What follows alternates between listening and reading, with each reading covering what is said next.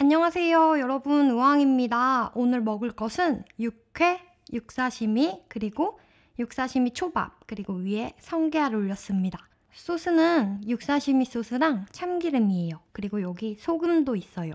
핑크 솔트. 그럼 맛있게 잘 먹겠습니다. 음료는 청귤레이드.